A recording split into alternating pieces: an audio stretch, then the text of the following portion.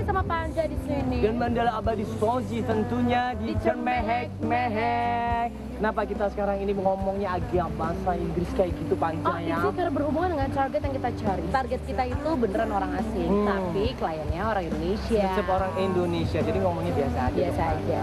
Lain kita kali namanya Sarah. Ya pokoknya gini, Sarah itu udah pacaran selama tujuh bulan dan selama tujuh bulan pacaran itu tiba-tiba si pria asing itu menghilang. Itu dia kenapa dia menghubungi tim terbaik untuk mencarikan di manakah laki-laki itu berada. Oke, yaudah kita langsung aja cari dong. Perlu Inggris lagi tidak? Tunggu sebelum kita cari, biar kamu lebih jelas, kamu lihat dulu profilnya. Oh ini dia profilnya. Ya betul. Gue Sarah, umur gue 21 tahun. Gue sedang mencari pacar gue yang namanya Anthony. Gue nggak tahu dia ke mana.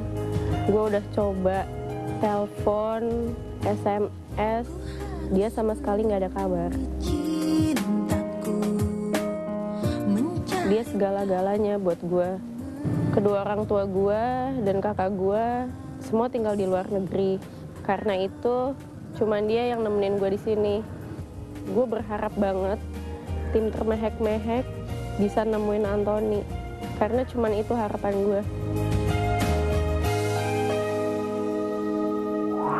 Akhirnya gue janjian sama Sarah, gue jemputnya di sebuah apartemen, ternyata itu adalah apartemen Anthony.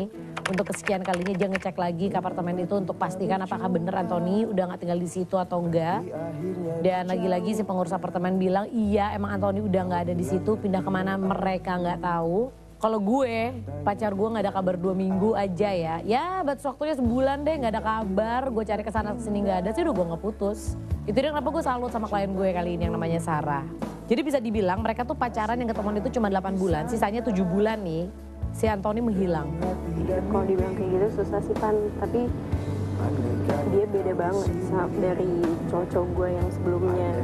Itu spesial banget buat gue. Dia mau ngejanjiin gue untuk tinggal sama dia di, di Australia. Pacar lo selalu memberikan janji-janji yang indah, dia mau menikahi lo, dia mau membawa lo ke Australia, memulai sebuah hidup uh, perkawinan yang baru dan indah. Siapa sih yang nggak nggak nggak ngerasa kayak tertagih untuk uh, mendapatkan semua janji-janjinya itu?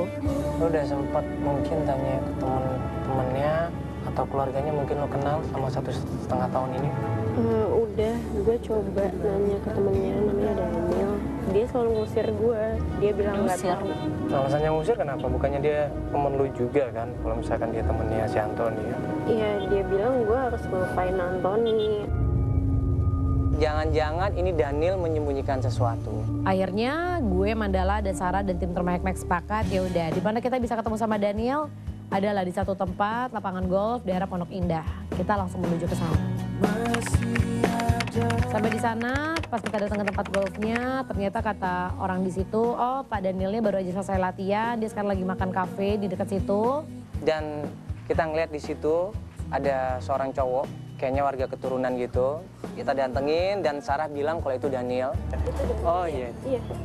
Halo, sorry ganggu sebentar dengan Daniel. Dan di situ kelihatan banget begitu gue datang, Mandala datang, Sarah datang, dia terlihat sangat terkejut sekali. A- a- Ada apa lagi? Eh, ya, Pakai-pakai bawa Iya. kam- kamera. ya sebentar. What's happened now? Ibu cuma pengen tahu Anthony di mana. Selalu itu saja yang kamu tanya sama aku tentang Anthony, Anthony. Aku, I don't know. Lu Daniel temen deketnya An- Anthony kan? Dan bahkan sering main golf bareng di sini ya? Iya, so what? Iya, setidaknya mungkin lu tahu kan di mana keberadaan Anthony. Mungkin lu dapat kabar dari teman-temannya yang lain atau Anthony pernah cerita ke lu ke mana dia selama ini. It's over now. Semua sudah berakhir. Kamu jangan lagi-lagi cari Anthony. Dia sudah balik ke Australia. Ya gue udah nggak tahu lagi mesti nyari ke mana kalau Iya. nggak sama lo. Kalau Daniel emang tahu Anthony ini udah punya pacar atau Anthony ini melakukan sesuatu, ya udahlah mending dikasih tahu sama Sarah. Biar Sarahnya lebih lega gitu loh.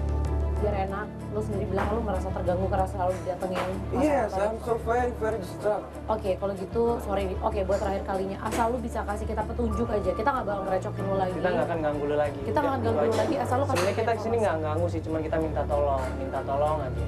Biar semuanya jelas gitu. Biar loh. semuanya jelas, Biar semuanya jelas dan dia juga udah nggak penasaran lagi. okay, it's okay, it's okay.